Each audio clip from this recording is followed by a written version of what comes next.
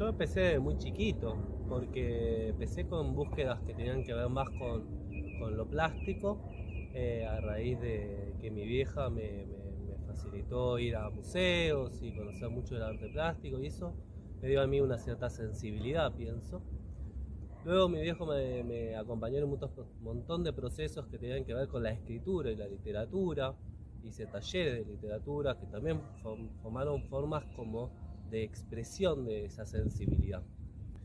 Y recién cuando tenía 16 años, eh, muy a, contrasentido de lo que hubiera pensado para mí, eh, me acerqué al tango.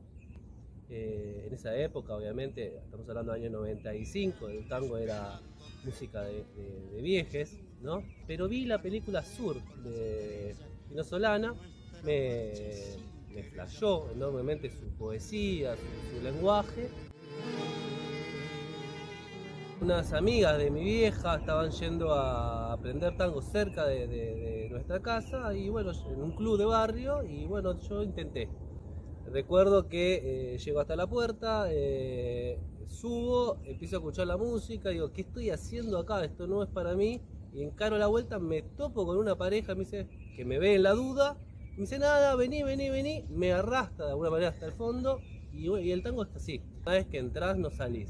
Eh, me enamoré de su forma de, de- de expresión, de su forma de diálogo entre dos cuerpos. Me, me encanta la comunicación que sea extra eh, semántica, no, no mediada solamente por el lenguaje, sino por otros lenguajes de alguna manera.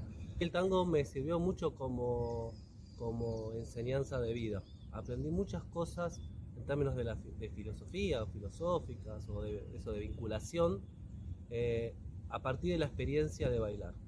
Decidí ser biólogo, tenía 6 años eh, y es una decisión que re- respeté y continué mucho, profundicé, desarrollé a lo largo de mi vida sin demasiadas contradicciones. Tuve solamente contradicción una vez eh, una docente de biología, el cuarto del secundario, me generó contradicción.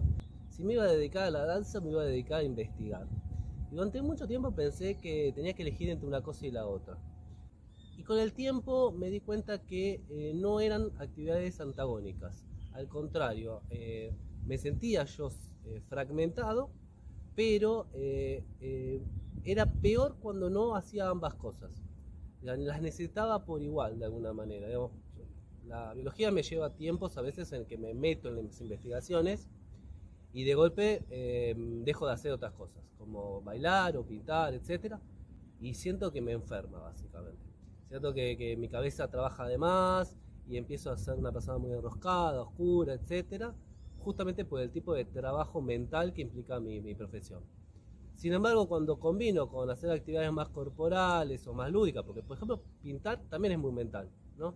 Eh, pero implica otro grado de creatividad. otro- hoy, desde la neurociencia, lo entiendo como que uno pone en juego distintas partes o distintas cortezas que están trabajando. Entonces no se desarrolla más una que otra. Con el tiempo fui dándome cuenta que yo no estaba fragmentado, en realidad era la misma persona y que eran las mismas curiosidades que iban para un lado y otro. Entonces, en realidad dejé de fragmentar mis preguntas en la vida. Dejé de encasillarlas en esto corresponde a esta parte o esto corresponde a esta otra parte. Y empecé a ser un poco más desprolijo en ese sentido. Eh, y esa cierta desprolijidad abrió campos de creatividad en las preguntas que valoro un montón. ¿sí?